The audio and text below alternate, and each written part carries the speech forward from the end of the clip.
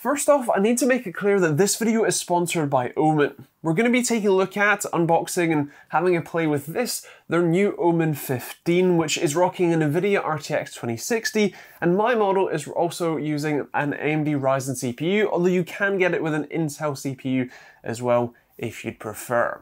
It's positioning itself to be the gaming laptop for you, so let's get it out of the box and I'll explain a bit more about it as we go. Now, Omen have pushed the boat out with this one. Like I said, it's using an RTX 2060. It's also rocking, at least my model is a Ryzen 7 4800U. It's got 16 gigs of RAM, 512 gig of SSD storage, and even has a very nice, very crisp 144Hz Full HD display. Now, you can pick this up at the link in the description, as you would expect. Um, feel free to check that out. And like I said, you can buy it with uh, an Intel CPU if you would prefer.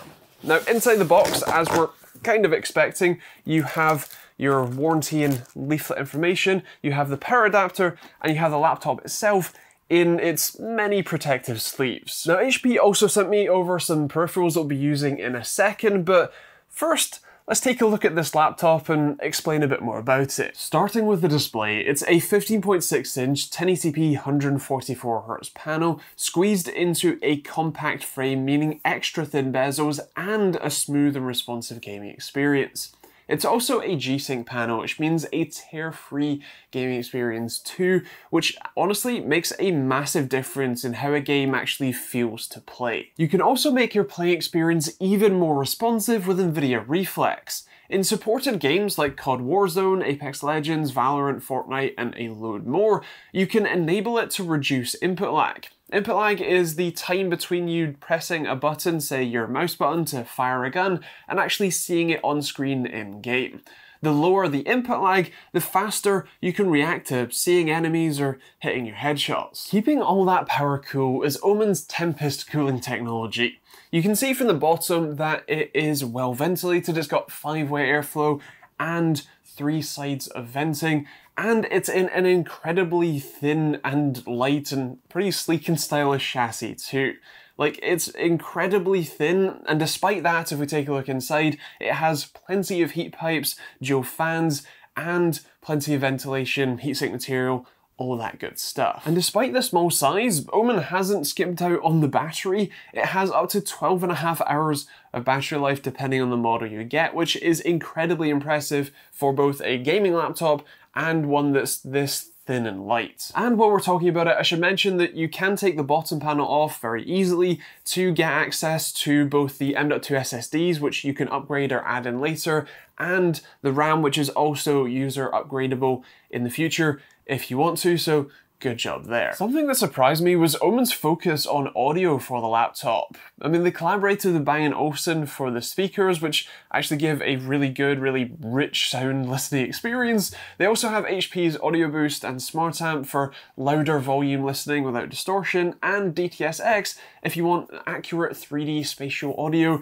through any headphones they actually have covered all the bases. Right, that's enough talking about it. Let's just jump into some games and see how it performs there. COD Modern Warfare is a game I've played a fair bit since it came out. Both a bit of Warzone, but honestly more multiplayer for me, so let's have a play with that. Now it does have pretty much all of the NVIDIA feature you'd expect, highlights, reflex low latency which we've got enabled, and DirectX ray tracing as well. So let's jump into match and uh, just have a bit of a play.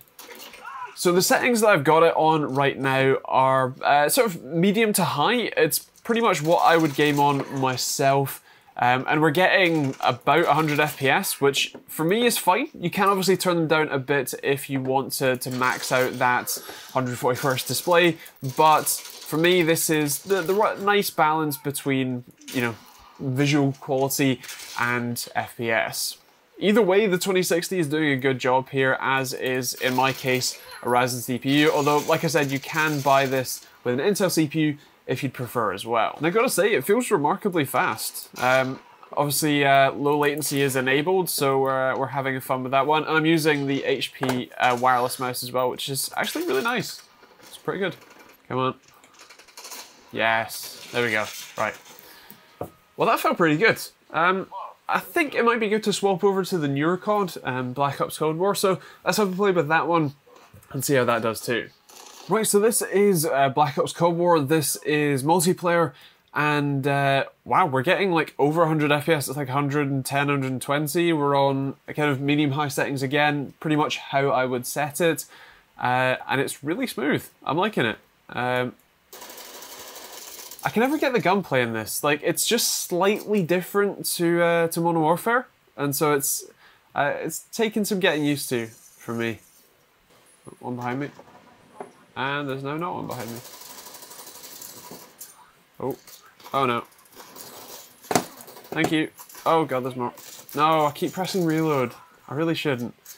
Um, so I'm actually recording the screen as well using um, NVIDIA's uh, overlay and I'm still getting 107, 105 FPS, so that's great. Uh, my aim, however, is not. Gotta say, game experience feels great. It's really smooth, getting plenty of FPS. I mean, my playing experience is terrible because, you know, I can't aim, but um, the actual play experience on the laptop, that's pretty good. Oh, he got him. Sweet. Come on.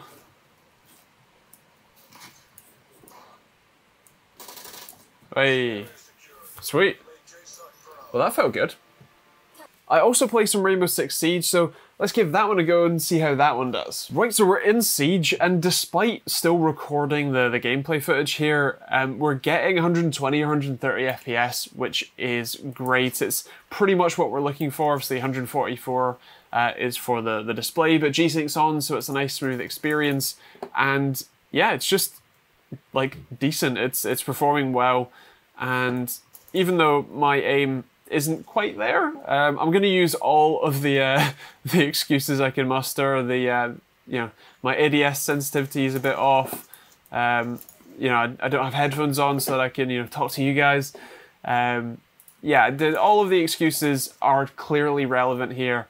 Um, I'm clearly much better than this would suggest. totally.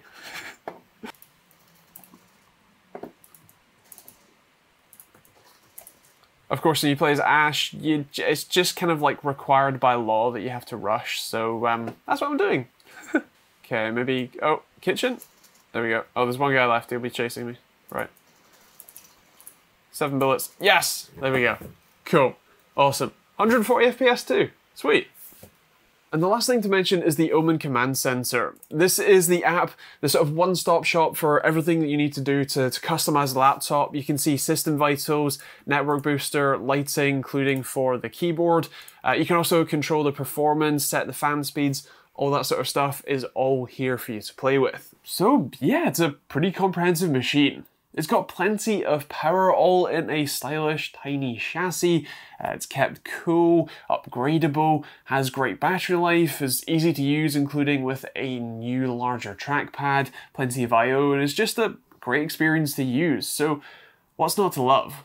Well, if you're interested in picking one up yourself or just checking out more information, take a look at the top link in the description down below. But otherwise, thank you to Omen for sponsoring this video, and thank you to you guys for sticking around and watching this far. Sponsor videos like this one help make this a, a viable job for me, so thank you very much to, to both HP, Omen, and to you guys as well. I'll leave the usual spiel out. Of course, there are videos over there if you want to check that out. And if you want to see more videos on this laptop, then feel free to hit that subscribe button as well.